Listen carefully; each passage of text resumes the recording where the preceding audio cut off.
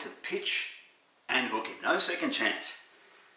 Deep down, I knew he was yesterday's man and I was the future, but all the media hype that hung about him over the years impressed me against my will. He was such an arrogant prick. He'd make anyone nervous. He stood there staring at me like I'm a wood grub and he's a red gum. I took three indigestion tablets to try and stop the fury in my gut. I remember thinking as I swallowed them, why are you doing this? What are you trying to prove?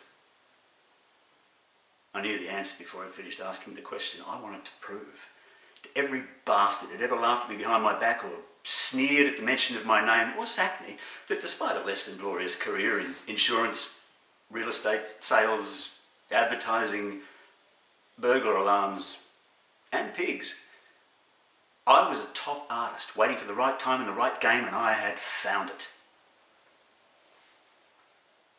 Coast watchers. I hated every minute of it. His writing was the worst. I'd sit there, grub like, over my typewriter while Red Gum strode up and down, dictating the whole thing word for word. I'd get so pissed off I couldn't take it any longer. I'd offer a suggestion. He'd look at the ceiling and say, hmm, I don't think so. And he'd stare back at me. And we'd eyeball to eyeball for a sixteenth of a second. And I'd go back to my typing. And the subject matter, coast watchers, frankly interested me about as much as going to bed with a nine foot tall rugby league player which I have done under odd circumstances, which I won't bore you with. But an odd thing happened.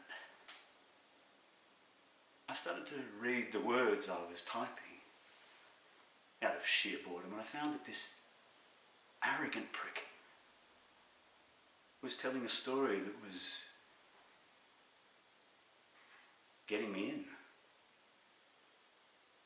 guys taking extraordinary risks under appalling circumstances, while babies like myself slept on undisturbed. In the world I see around me where everyone's out for number one, this sort of behaviour gives you an odd jolt. The turd had the knack of making his characters